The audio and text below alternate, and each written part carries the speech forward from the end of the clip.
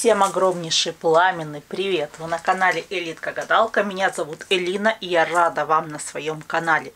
Сегодня у нас продолжение темы, которую очень многие просили, очень многие агитировали, чтобы я по ней записала новое видео. Итак, ваша просьба услышана и сегодня мы с вами разговариваем такой осенний субботний вечер о числовых кодах, несколько вопросов накопилось, на которые я хочу внести ясность с помощью неизменных моих помощников, карт Таро, 78 дверей, э, новый оракул «Поверь в свою магию» и старенькая колода «Мистическая Ленорман», которая почему-то не попадает в кадр. Сейчас мы это исправим.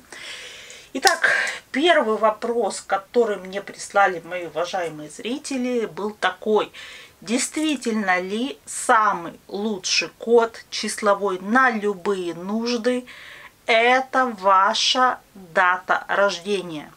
То есть, если вы родились, допустим, 5 мая 88 то для вас самые лучшие цифры будут 5, 05, да, 1988. То есть все цифры, которые содержатся в вашей дате – в вашем году рождения, в вашем месяце рождения, в вашем дне рождения. Так, давайте смотреть. Действительно ли это так? Или же это подходит не всем? Действительно, числа, которые содержатся в нашем дне рождения, в нашем месяце рождения и в нашем году рождения, самые лучшие и рабочие для числовых кодов. Смотрите, выпала четверочка жезлов, рыцарь Пентаклей и шестерка жезлов. Карты, в принципе, неплохие.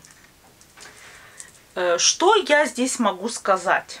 Карты хорошие. Единственное, я бы сказала, что вот э, числа на основе даты своего дня рождения, да, и месяца, и года, и числа, они больше, знаете, для сбережения удачи для сбережения тех результатов, которые вы уже достигли. То есть, грубо говоря, вот эти вот числа, они работают как защита того, что вам удалось э, с помощью числовых кодов, например, э, получить.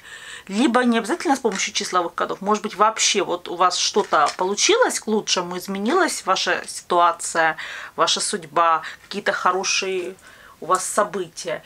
И вот эти числа вы можете нанести на левую руку для того, чтобы они как бы для поддержки, да, то есть для того, чтобы так долгое время и оставалось. Давайте еще посмотрим новым оракулом, поверь свою магию. Кстати, у меня есть на канале обзор на него. Если интересно, можете также посмотреть.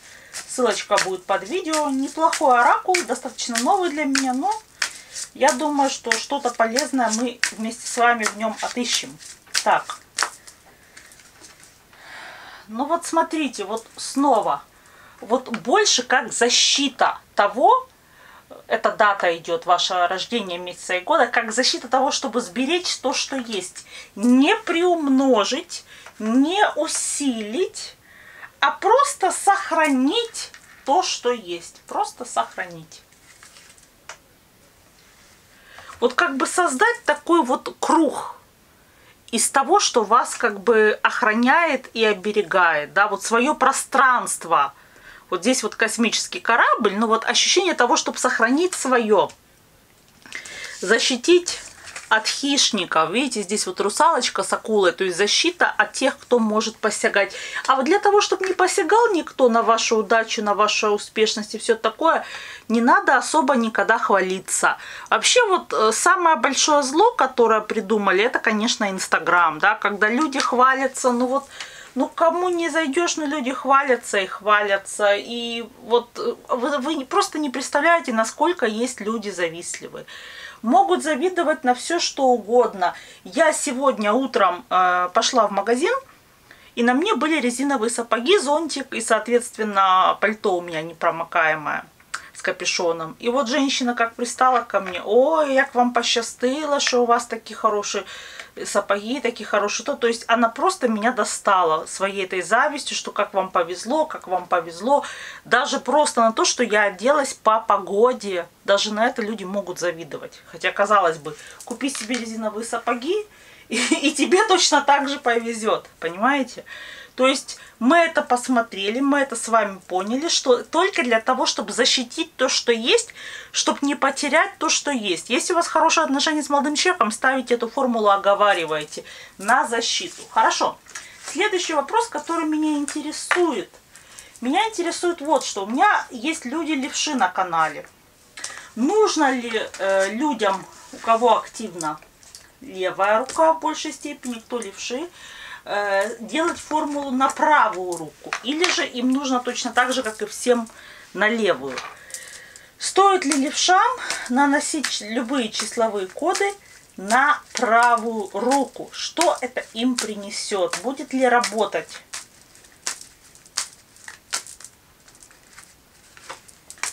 Так, выпала карта туз кубков, девятка кубков, карта исполнения желания – и двойка кубков. Я думаю, что да, обратите внимание, здесь вот как раз показана работа и левой руки, вот она, да.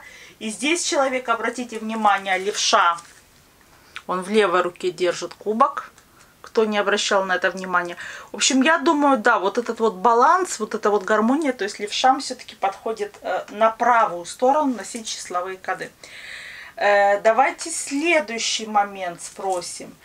Э, есть ли люди, на которых числовые коды вообще не действуют? Вот вообще никак.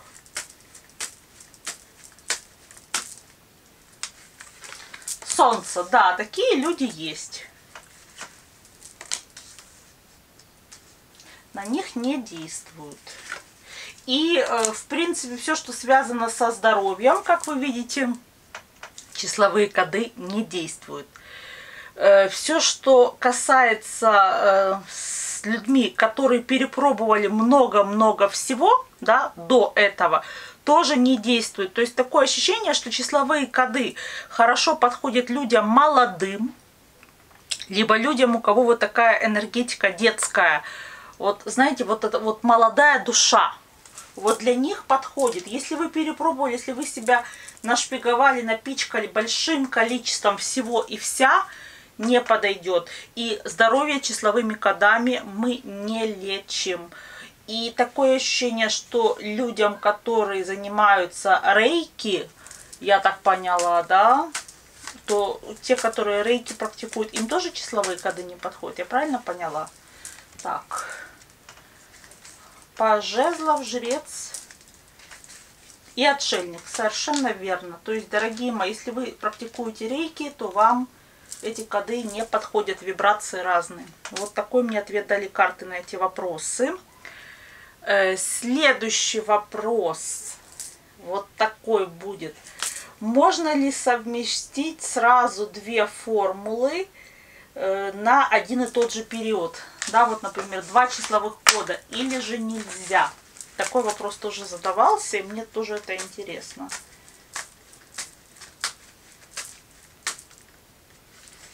Четверка пентаклей ограниченно будет действовать и впустую. Не надо так делать. Не надо по два, по три. Не стоит их миксовать ни в коем случае.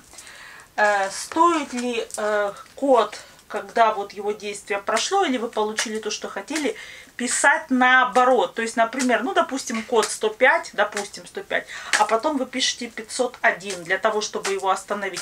Давайте так спрошу, к чему приведет написание числового кода наоборот? Вот так вот спрошу. Что это даст? То ли он усилится, то ли он снова но сильнее будет работать на новом уровне, то ли ни к чему не приведет, то ли к остановке. Вот давайте посмотрим. Ага, вот смотрите, по императрице, я так понимаю, что можно его наоборот, таким образом, опять вот, если он застоялся, простимулировать.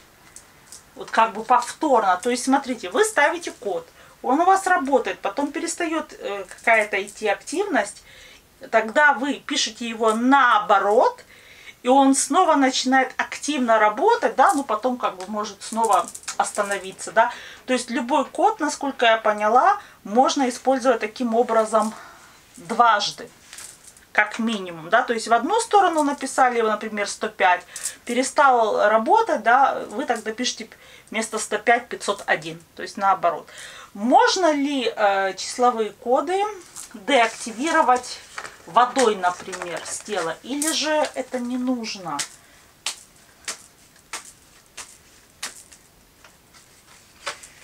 Ага, смотрите, королева мечей, карта, которая обычно говорит, у меня ответ нет. Карта, которая говорит, что не стоит водой их смывать. Вот смотрите, по солнцу, по королеве мечей, я бы сказала, что здесь немножко другие вибрации. Не стоит смывать водой. Я думаю, что лучше либо дымом, либо просто вот на солнце поднести свет солнца, вот, вот, это, вот эти вот энергии, лампой, и заранее договориться, что вы будете именно этим деактивировать эту формулу, но не вода. Сейчас прошу еще на этом оракуле поверь свою магию, стоит ли э, деактивировать, то есть отключать формулу, числовой код водой? Стоит ли это делать? Так, ну вот смотрите. Выпала карта, которая называется перо. Называется перо. Здесь у нас выпала королева мечей, которая также со стихией воздуха. Мне почему-то так видится, что либо стихии воздуха, либо вот смотрите, здесь на карте большое изображение свечек есть. Смотрите, вот свечи, вот, да. И я, и тут вокруг тоже внизу стоят свечи. Я так понимаю, что либо солнцем, либо светом деактивировать, да, либо э, тем, что связано с магией воздуха. То есть это могут быть перья, это может быть веер, это может быть маленький вентилятор. Я вам когда-то показывала видео, у меня есть такой небольшой. То есть я так понимаю, они лучше всего для отключения формул. Сейчас я вам вентилятор покажу, секундочку. Вот он у меня как раз недалеко. Прошу не смеяться. Он достаточно такой, вот такая штука. То есть я так понимаю, что она хорошо именно отключает, отключает формулу каким-то образом. Хорошо, можно ли формулу не отключать, чтобы она сама по себе просто э, вот побыла на человеке и остановилась, и все. Можно ли так? К чему это приведет, если ее не отключать, не останавливать?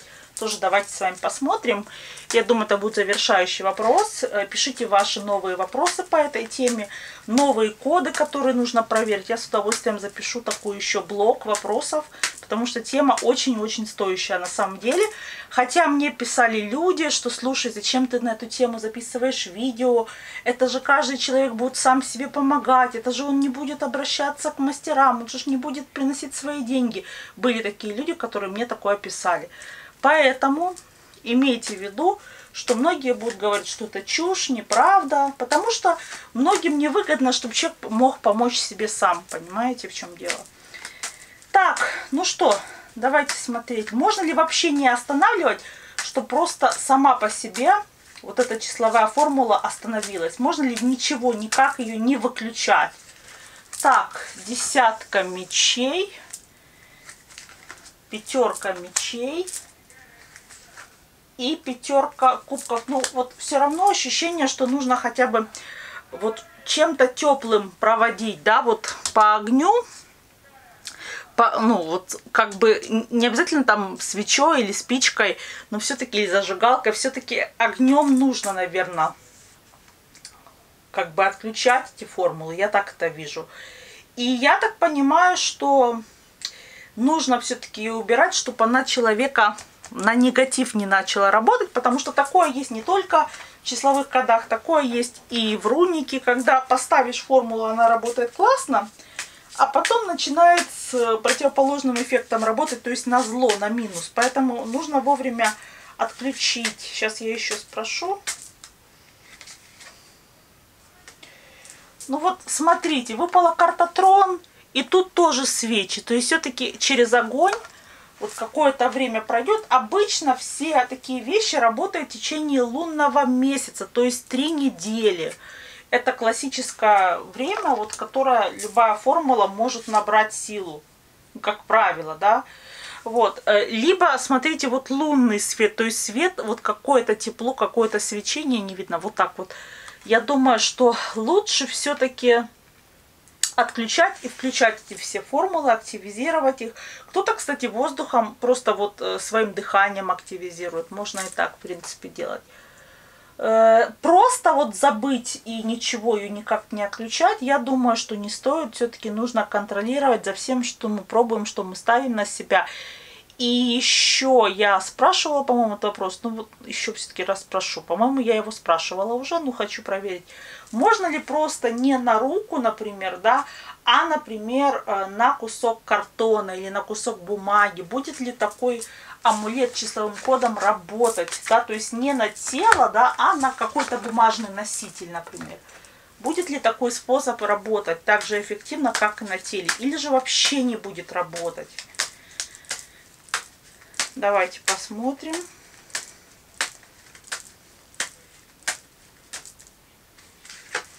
Э, смотрите, будет работать, но тут нарисовано, видите, вот она, как бы, она или он, мужчина, по-моему, тут, как бы рисует на теле, да, мы видим, да, но, но, э, я, эта карта восьмерка пентаклей, она вообще означает работу. То есть, да, она работать будет, но на теле как бы работает более сильно. Э, на бумаге такое ощущение, что работать будет быстрее, но короче, короче по времени. Вот как бы вот не так долгоиграющий. Я увидела этот ответ именно таким. Ну, сейчас еще посмотрим на оракуле. Пишите ваши вопросы по числовым кодам, пишите ваши какие-то интересные наблюдения. Я с большим удовольствием почитаю я с большим удовольствием постараюсь ответить. Если это будет тема интересна, у нас целый плейлист по ней. У нас уже есть по ней, э, получается, сколько? Два видео. Ну, пока два или еще два. Но я еще запишу, если эта тема наберет много просмотров. Смотрите, я думаю, что можно сделать на какой-то бумажный носитель. Не будет никакого вреда. Просто нет такой силы, как когда на тебе. То есть чуть-чуть слабей. Чуть-чуть слабее, опять же, эту бумагу тоже можно активизировать дыханием, да, или вот какой-то какой-то стихией нужно активизировать, я так понимаю, либо в каком-то природном месте. Но это на меньший период, вот эти вот на бумаге числовые коды работают, именно по времени меньше. Но тоже работают. На этом я сегодняшнее видео завершаю. Желаю всем хорошего субботнего настроения. Предлагайте новые темы для видео. Предлагайте, кстати, темы для вот этого замечательного оракула, поверь в свою магию. Может быть, какие-то онлайн-гадания, если вы захотите. Я тоже на нем запишу. Ну и, конечно, мы с вами встретимся очень скоро. А именно завтра я планирую дописать видео о колесе года о его временных сроках, о младших арканах. Эта колода очень красивая, у многих она также, моих зрителей и зрительниц есть. Вот такая колода, все вы ее хорошо знаете.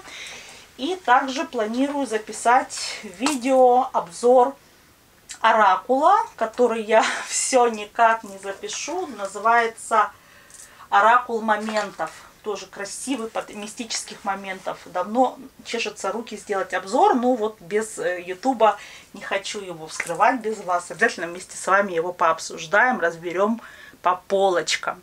На этом все. Я вас очень люблю. Вы были на канале Элька Гадалка.